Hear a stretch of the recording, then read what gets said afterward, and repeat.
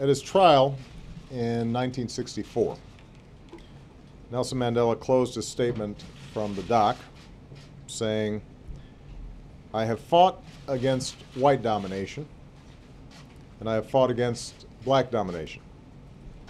I have cherished the ideal of a democratic and free society in which all persons live together in harmony and with equal opportunities. It is an ideal which I hope to live for and to achieve. But if needs be, it is an ideal for which I am prepared to die. And Nelson Mandela lived for that ideal, and he made it real. He achieved more than could be expected of any man. And today he's gone home.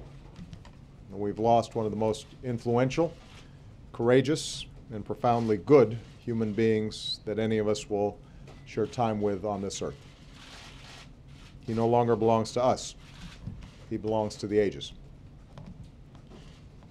Through his fierce dignity and unbending will to sacrifice his own freedom for the freedom of others, Madiba transformed South Africa and moved all of us.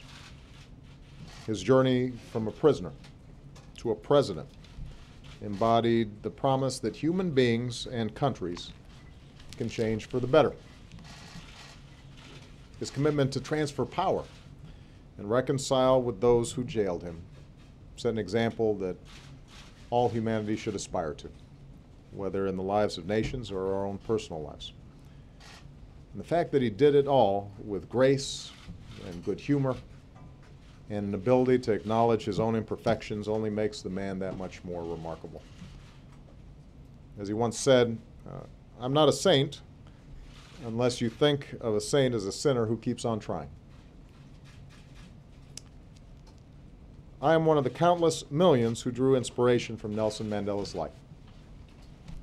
My very first political action, the first thing I ever did that involved an issue or a policy or politics was a protest against apartheid.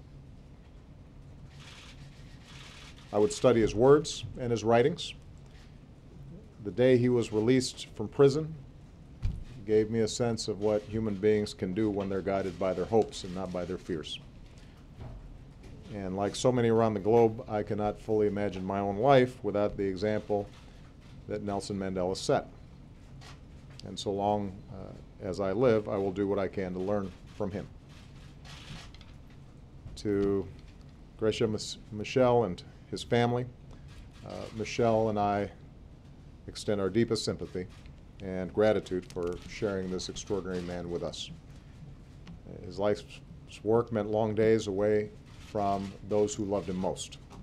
And I only hope that the time spent with him these last few weeks brought peace and comfort to his family. To the people of South Africa, we draw strength from the example of renewal and reconciliation and resilience that you made real. A free South Africa at peace with itself. That's an example to the world. And that's Madiba's legacy to the nation that he loved. We will not likely see the likes of Nelson Mandela again. So it falls to us as best we can to forward the example that he set, to make decisions guided not by hate but by love, never discount the difference that one person can make, to strive for a future that is worthy of his sacrifice. For now, let us pause and give thanks for the fact that Nelson Mandela lived, a man who took history in his hands and bent the arc of the moral universe towards justice. May God bless his memory and keep him in peace.